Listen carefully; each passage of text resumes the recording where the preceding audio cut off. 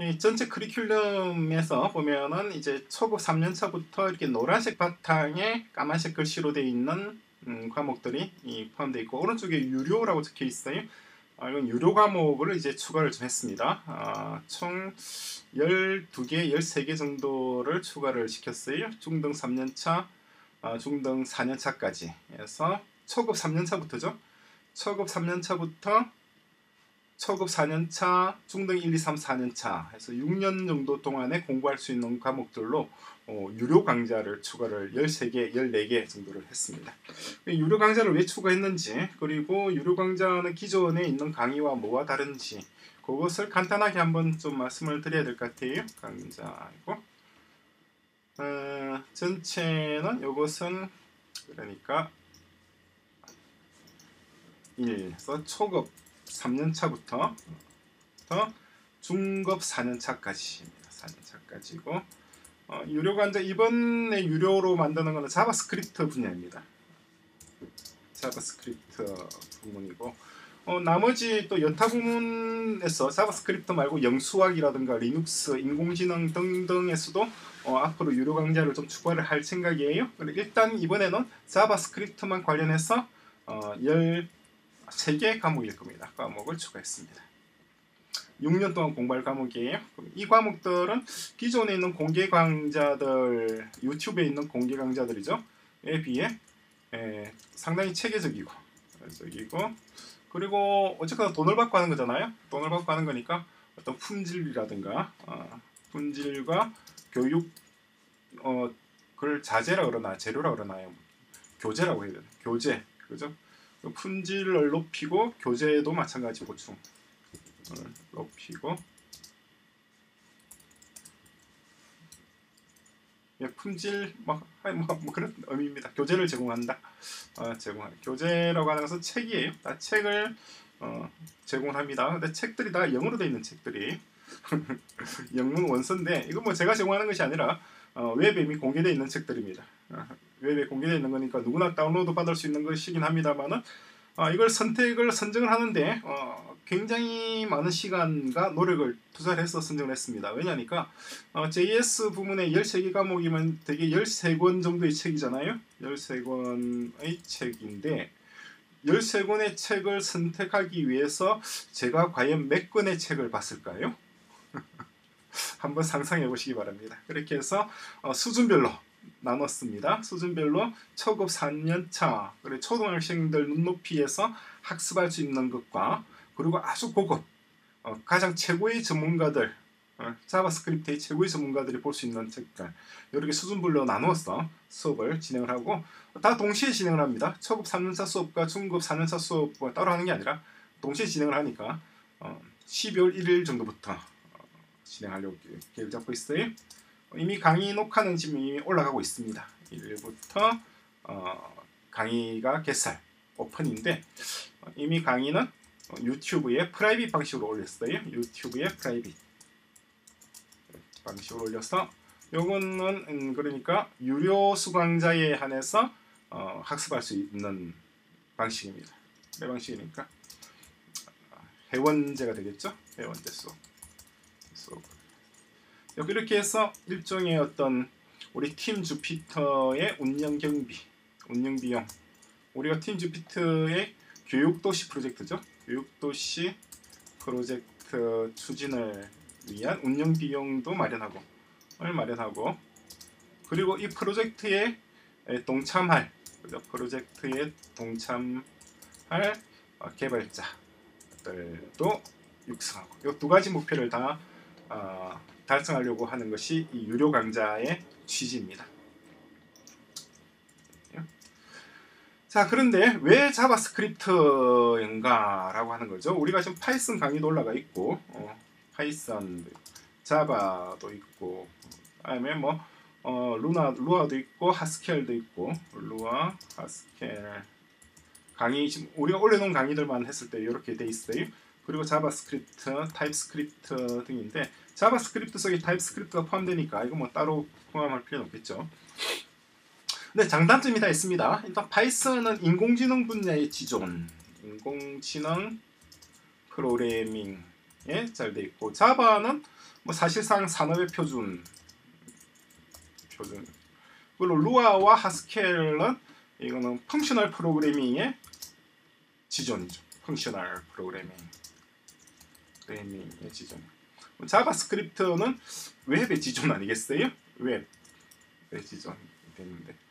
근데 왜 JavaScript를 우리가 중점적으로 공부를 하느냐니까 JavaScript는 앞에 있는 요 모든 언어들이 할 수 있는 걸 JavaScript로 다 할 수 있습니다. 자, JavaScript는 상당히 재밌는 거예요. 재밌는 현상입니다. 제 JavaScript는 어, 다른 모든 언어들 의 역할을 수행할 수 있습니다. 다른 언어들은 언어들은 JS 역할을 못해요. 그리고 자바스크립트의 사용자청 그죠? 사용자청 특히 오픈소스 특히 오픈소스의 사용자청이 그야말로 막강합니다. 막강. 다른 모든 언어들의 그 사용자들 다 합친 것만큼이나 많은 사용자들이 JavaScript를 이용을 하고 있고 그리고 JavaScript 자체가 다른 언어와 또 달라요. 어떤 점이 다르냐니까 다른 언어들은 옛날 모습 그대로가 유지되고 있어요. Java 같은 경우 10년 전의 Java나 지금의 Java나 달라진 게 딱히 없어요. 지금 와서 이제 reactive 부분이 좀 추가되긴 했습니다만은 크게 바뀐 건 없어요. 그런데 어, JavaScript는 매년 달라지고 있습니다. 그 빠른 속도로 진화하고 있다. 빠른 속도로 진화하고 있다. Java는 10년 전의 Java가 지금 Java. Python도 마찬가지고 뭐 Lua나 Haskell도 마찬가지고 그런데 JavaScript만큼은 너무나 빠른 속도로 진화하면서 다른 모든 언어들의 특징들을 다 흡수하고 있어요. 그래서 JS가 현재 그런 거예요. JS가 어, 왜래? JS는 다른 모든 언어들 각각의 장점들을 빠르게 흡수. 그래서 구체적으로 얘기한자 그러면은 하스켈이나 루나 같은 언어의 펑셔널 프로그래밍도 흡수했고 어, Java 산업 표준으로서 server side에 거의 뭐 그잖아요. server side server side 그 backend죠 그죠? 어, backend의 산업 표준인데 JavaScript 역시 backend로서 이미 역할할 수 있는 Node라고 하는 어떤 환경 생태계가 구성이 되버렸죠. 그리고 Python이 인공지능 프로그래밍의 거의 데이터 과학에서 지존이었는데 Java가 현재 JavaScript가 역시 또 마찬가지로 인공지능 영역에까지 어, 빠르게 확장하고 있습니다. 그러므로 어, open source 이가 아니고 open source에서 막강하다. 그죠? 그러니까 인공지능도 되고 functional도 되고 다 되는 거예요. 펑셔널, AI, 리액티브라고 하는 패러다임, 그죠? 그리고 어, backend server side server side죠. 기존의 Java가 하던 server side의 역할도 역시 JavaScript가 대응할 수가 있습니다. Node라고 하는 너무나 훌륭한 그런 체계 아키텍처가 구성되어 있습니다. 그래서 우리가 JavaScript를 공부를 하는 거예요. 음, 가장 많은 사람들이 쓰고 가장 빠른 속도로 성장하고 있고 또 빠르게 진화하고 있고 그리고 무엇보다도 open source에서 너무나 많은 그런 사용자들이 서로 활발하게 지식과 기술을 교류하고 있고 그렇죠? 그래서 어, JavaScript 분야에서 기초부터 해서 아주 고급 기술까지 어, JavaScript라고 하면은 TypeScript도 포함하는 거예요. TypeScript 더하기 TypeScript 되겠네, 그죠? 그래서 유료 강좌를 개설을 하게 되었습니다. 그래서 어, 이후에는 JavaScript 외에도 또 다른 분야들 영수학, 영어와 수학을 합친 영수학 같은 경우 과목들도 어, 현재 중등 과정까지 강의가 올라가 있습니다만 고등부 과정부터는 아마 유료로 해서 아마 제공하게 될 겁니다. 그렇게 해서 어, 뭐 말씀드린 것처럼 우리 팀 주피터의 어떤 교육 도시 프로젝트를 위한 운영 비용과 그리고 개발자들 육성하는 것. 그래서 여기 13개 과목을 다 마치게 되면은 이제 무엇이든지 만들 수 있는 무엇이든 코딩할 수가 있는 그죠? 교통 물류든 의료 시스템이든 교육 체계든 학교든 뭐 변호사 의사든 사고 시스템이든 무엇이든 다 코딩할 수 있는 그런 기초적인 기술과 지식을 여러분들이 다 습득할 수 있도록 어, 저희가 팀 주피터가 앞장서서 어, 진행하도록 하겠습니다. 그리고 또 가장 또 중요한 목표 중에 하나는 뭐냐니까 이 유료 강좌를 통해서 유료 강좌를 통해서 지금 비행기들이 막 제 머리 위로 날아다니고 있어요. 통해 해외의 개발자들 그러니까 어, 해외의 어떤 정말 실력이 너무나 뛰어난 그런 개발자들이 너무 많아요. 이런 개발자들과 한국의 개발자들 그게 학습자들이죠. 자들 어, 간의 어떤 다리 교량 교량으로 역할하겠다는 겁니다. 그것이 오픈에시 캠퍼스입니다. 오픈에시 캠퍼스. 오픈에시 캠퍼스를 통해서 어, 저희가 유료 강좌를 해야 돼요. 그래야지 해외의 개발자들을 우리 오픈에시 캠퍼스에 어, 지도자로서 참여시킬 수가 있습니다. 그렇다고 해서 해외 개발자들이 한국에 온다는 것이 아니라 지금은 너무나도 서로 소통하기 좋은 시스템입니다. 아 정말 여러분들이 기본적인 지식과 학습자들이 학습자들이 기본적인 실력과 경험을 갖추게 되면 갖추게 되면 탁월한 개발자들, 탁월한 해외 개발자들과 활발하게 교류를 할 수가 있어요. 교류하면서 실력을 늘릴 수가 있다는 거죠. 실력을 늘리는. 따라서 또 교류가 또 이루어지고 교류가 늘어나고 또 실력이 늘어나고 이 선순환이죠 한마디로 실력 증강이 되고 이러한 선순환 구조 순환 구조 요걸 우리가 오픈시 캠퍼스로 구성해 보겠다는 거죠. 지금 우리나라에 많은 어떤 어, 인터넷 강의들이 있지만은 그 인터넷 강의들 기존의 인터넷 강의들도 다 훌륭하고 좋긴 하지만은 어, 제 생각에 기존 인터넷 강의들은 조금 한 두 가지가 좀 부족한 것 같아요.